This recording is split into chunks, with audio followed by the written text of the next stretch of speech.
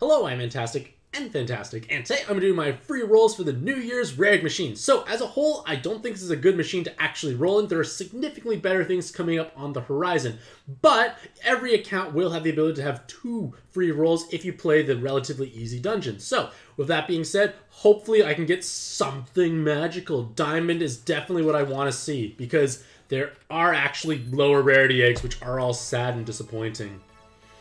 Like, I will not find any use for any of the cards that are five, six, or four star.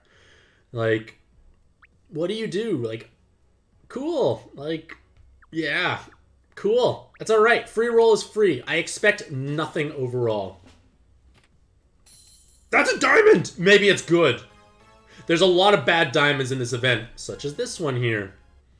I guess if I wanted, like, Leilan's and I had, like, a Leyland collection or thing going on, Maybe, but at the same time, no, not quite.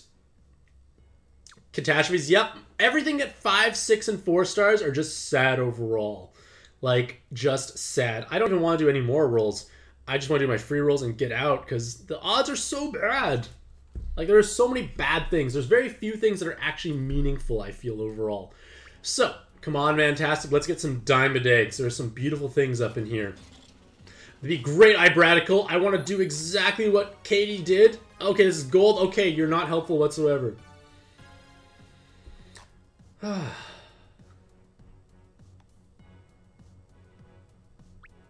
have two of these. I get them every year, it seems.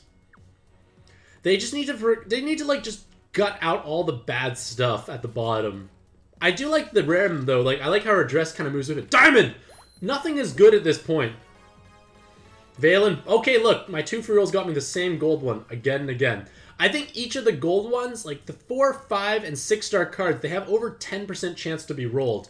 Pretty sad things overall. Now I have so many of these girls and I'm never going to use them.